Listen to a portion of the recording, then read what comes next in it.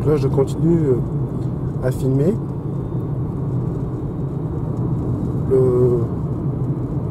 L'affichage de l'ordinateur sur la consommation instantanée et la récupération instantanée. Affichage sur euh, une durée de 15 minutes. Donc dès qu'il y a un petit ralentissement, un petit freinage sans être un freinage, aussitôt il y a récupération d'énergie. Donc le petit disque que vous voyez à gauche, en dessous de kilowatts, c'est 10 000 watts.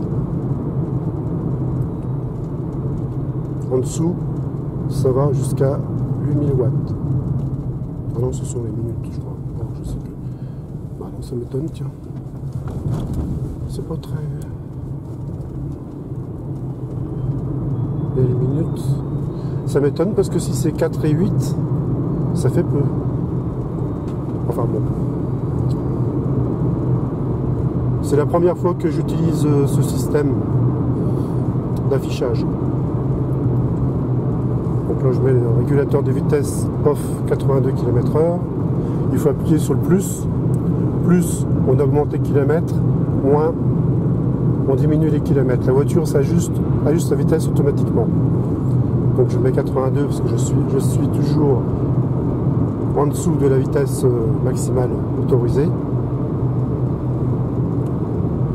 Pour désactiver le régulateur de vitesse, soit on appuie sur le, la touche ici, haut, ou sur la pédale de frein. Mais bon, c'est pas conseillé d'appuyer sur la pédale de frein sans raison. Les arrière ne comprendraient pas. Donc vous voyez l'énergie dépensée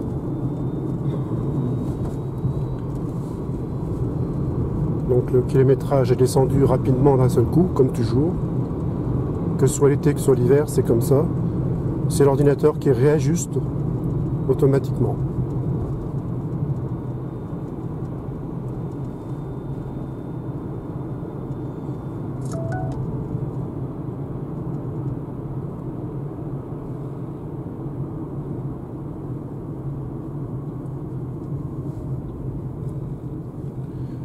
Donc toujours la même route avec les mêmes ralentisseurs.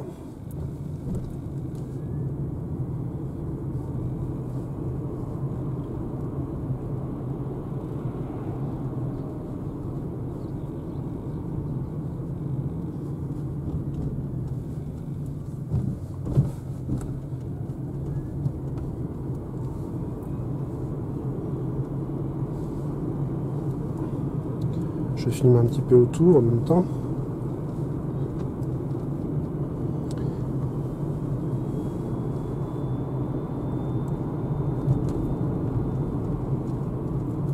Donc la récupération d'énergie pour l'instant est de 100 watts. Dès qu'on fait de la route, la récupération d'énergie est moins, moins évidente, bien entendu.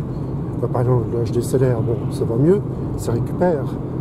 Mais c'est surtout en ville, en agglomération, où là c'est vraiment spectaculaire. On explose les scores d'autonomie, puisqu'il y en a qui ont atteint les 500 km avec une Zoé en ville. record enfin je sais pas si c'est record, hmm, si c'est le, maximum, mais 500 km c'est énorme. C'est énorme pour une petite voiture comme ça, c'est vraiment... C'est impressionnant.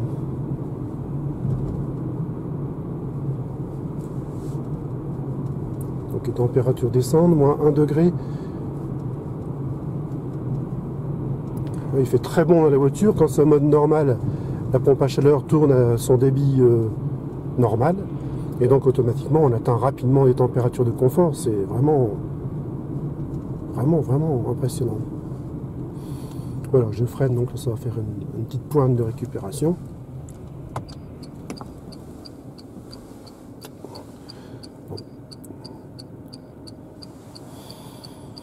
Je remercie euh, les nouveaux abonnés de vous être abonnés à ma chaîne. Si vous avez des questions, euh, n'hésitez pas à les poser.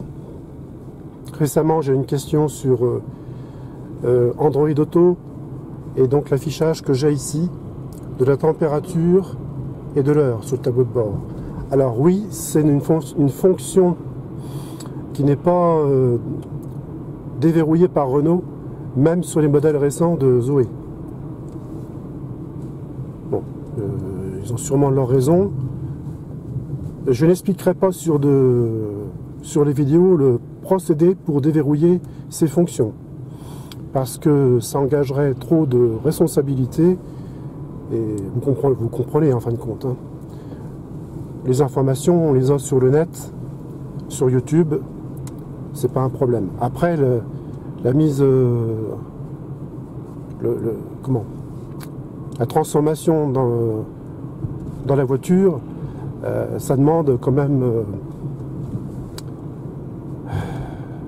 ça demande du sérieux. Hein il faut savoir que là, on touche aux fonctions de la voiture, les fonctions vitales, hein, donc il faut pas faire n'importe quoi. C'est pour ça que je n'irai pas plus loin dans, mes explications. C'est faisable, c'est possible, mais à chacun de trouver, de chercher et de faire. Il engagera sa, sa, responsabilité. Ceci dit, je retourne donc sur mon petit euh, graphique. Donc vous voyez, les récupérations sont minimes. Et ça va être comme ça tout le long, sauf dans la grande descente, la fameuse descente euh, que j'avais filmée sous la pluie. Bon là ça va être filmé par temps froid mais ensoleillé. Donc je mets le régulateur de vitesse. Alors là, comme la voiture n'est plus en mode économique, il y a plus de puissance au niveau du moteur. Quand on retire le mode économique, on sent un petit à-coup, quand on est en accélération par exemple. On retire le mode économique de la foulée, c'est impressionnant. Hein on sent que le moteur là il est déverrouillé. Et ça je ne l'avais pas cette impression là quand j'avais la voiture euh, la première année. Ça ne me faisait pas ce, petit à-coup, le déclenchement de libération de moteur, de puissance. C'est quand j'ai fait le changement de batterie, que, qui n'est plus possible d'être fait, hein. de toute façon Renault a le, processus, c'est dommage, mais quand la batterie a été changée, donc ils ont fait pas mal de choses. Ils ont remis à jour euh, comme les Z240, hein, les nouvelles Zoé. Donc euh, du coup, euh, maintenant j'ai le. J'ai ça, ce petit coup, ce petit, ce petit à coup. Donc moins de degrés, ça descend vite. On va faire un moins 7 degrés cette nuit encore. Alors la voiture électrique aussi a un gros avantage, c'est qu'elle ne craint pas le froid et elle ne craint pas le chaud. Vous ne ferez pas ratatouiller le moteur à froid. Hein. Ah ça non. Le moteur électrique s'en fout complètement, la batterie aussi. Il n'y a pas de courroie, donc il n'y aura jamais de courroie mal tendue, bien tendue, de courroies usées qui font du bruit, etc. Ça, ça n'existe plus.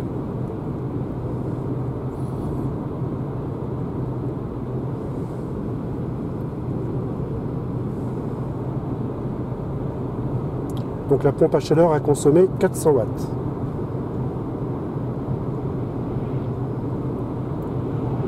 Dès qu'on met en mode normal, la pompe à chaleur peut consommer jusqu'à 20% d'énergie par temps très froid. Hein. Par là, il fait moins 1, moins 2. Là, elle tourne vraiment... Elle tourne pas à fond, hein. j'entends plus la ventilation, mais elle tourne, je sens bien le chaud. C'est régulé en haut, en bas, au milieu automatiquement.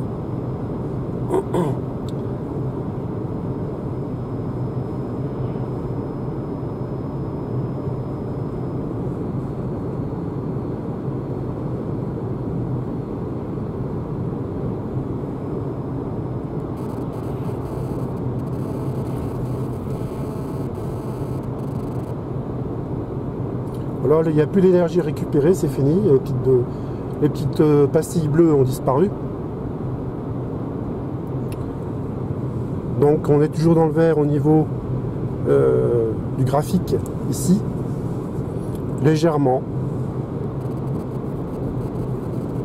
Vitesse constante. Alors il faut savoir que quand le mode économique est retiré, vous avez vraiment la puissance intégrale du moteur. C'est-à-dire que vous avez une partie bleue récupération, une partie verte mode économique qui participe à l'économie de consommation et la partie jaune qui, elle, donnera la, puissance maximale du moteur. Hier, j'ai fait, bon, je me suis pris au jeu avec un, hier soir, avec un gars qui, voulait me chatouiller un petit peu au niveau avec la Zoé, il avait une Audi. Une grosse, hein, pas une petite. Hein. Ah bah il m'a pas. m'a pas largué. Il a accéléré à fond. Alors, quand il a accéléré à fond, ça fume. Moi ça fume pas. Hein, nous, ça fume pas en électrique. Il a fait un bruit, j'entendais son moteur, son berlingot il était au maximum. Hein. Mais non, moi c'était vraiment limpide, linéaire puisqu'il n'y a pas de changement de vitesse, il n'y a pas de chute brutale de, puissance quand on change de, vitesse. Sur un thermique, c'est comme ça. Sur une, électrique, pardon, c'est toujours linéaire. Et eh ben, il m'a pas largué. Bon, après, moi, il fallait que je tourne, donc je n'ai pas continué. De toute façon, j'aurais pas continué parce que là, euh, faut pas oublier quand même que 130 km/h euh, flasher à cette vitesse-là, ça fait mal. Hein. Comme moi, j'ai besoin tous les jours j'ai besoin de rouler, donc la récupération je freine pas. Hein. Euh, je ne freine pas. Il y a quelqu'un derrière, mais ça va, il me colle pas, il me colle pas trop. Je vais mettre un petit coup de frein quand même pour l'avertir. Donc la récupération va s'afficher. C'est pas instantané à dire. Hein.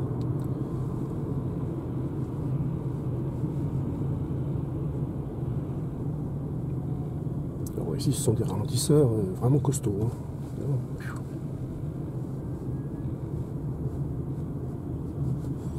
sont les routiers qui apprécient pas.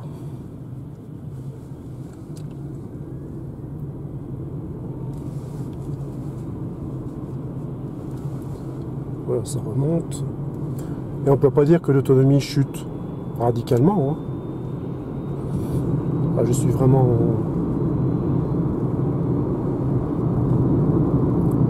non limité dans puissance et puis bon bah, ça se maintient moins de degrés toujours 208 hein, km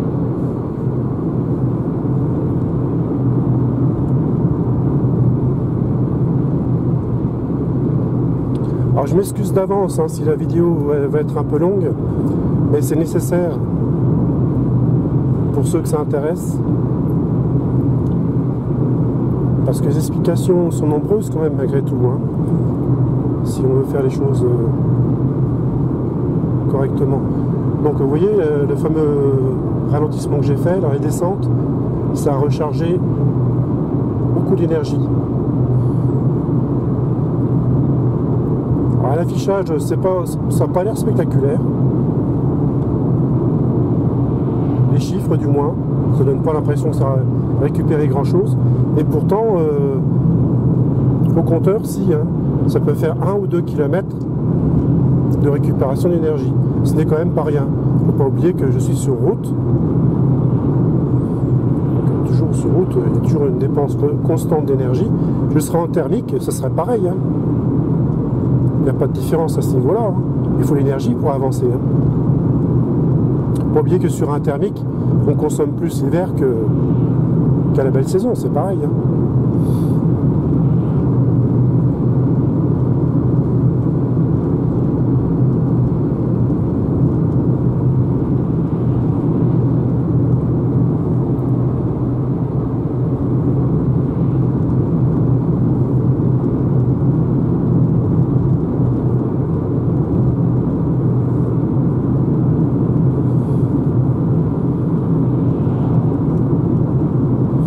le coup des 90 km/h à 80 km/h sur mon parcours euh, journalier, ça a rallongé le temps d'environ une minute.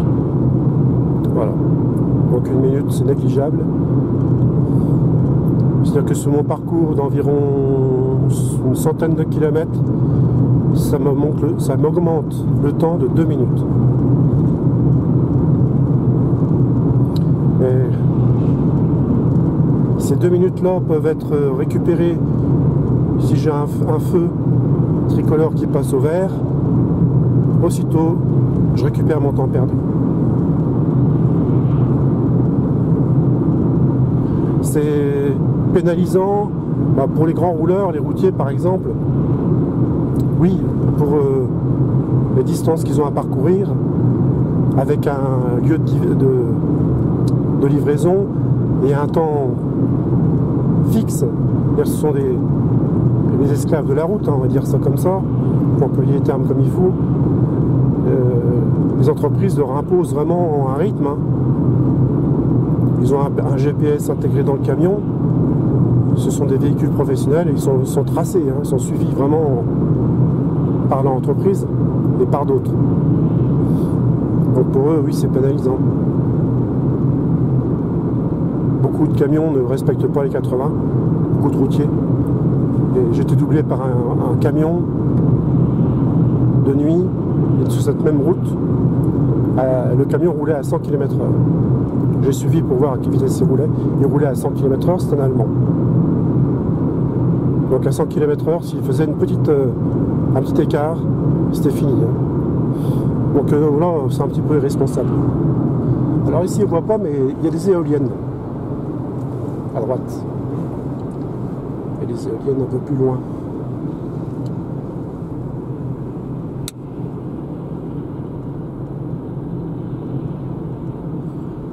il arrive bien vite lui.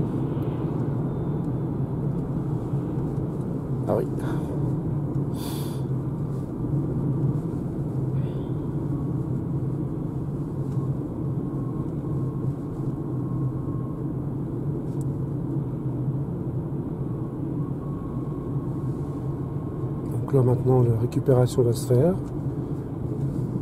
Voilà, 209 km. C'est assez surprenant hein, l'affichage de l'autonomie. Et surtout à la belle saison. À la belle saison, on est des fois surpris par la, hausse des kilomètres que l'ordinateur réajuste. C'est des fois 5, euh, 6, voire 10 km d'un coup, en plus, en moins. C'est surprenant. Et plus on roule économique, plus ça rehausse l'autonomie.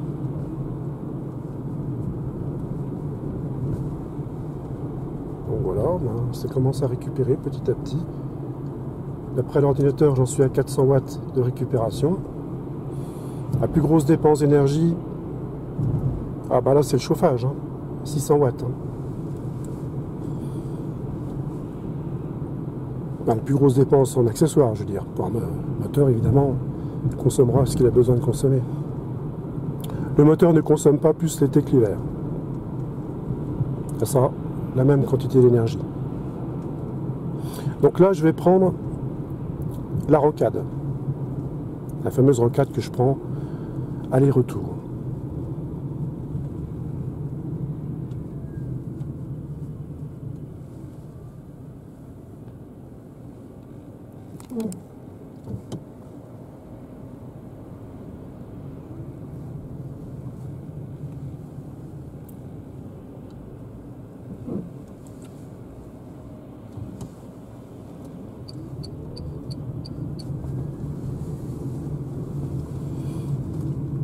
C'est bien gelé là.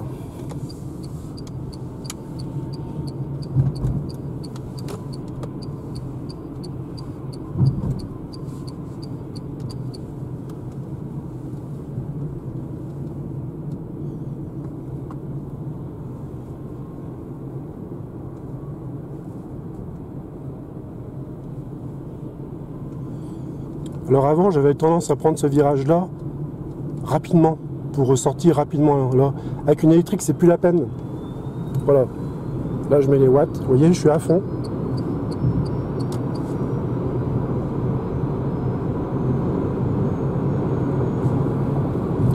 Je mets pas le régulateur, je vais suivre. Et du coup, les autres derrière n'ont pas eu à se déporter sur la gauche.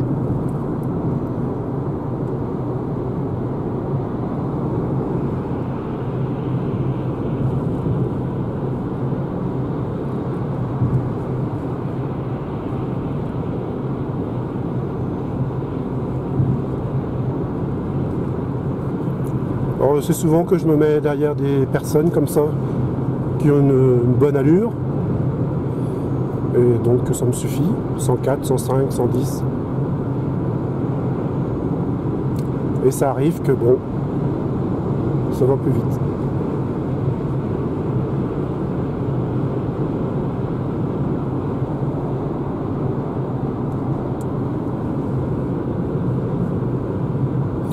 La rocade là, elle a un peu plus de 4 km jusqu'à un rond-point.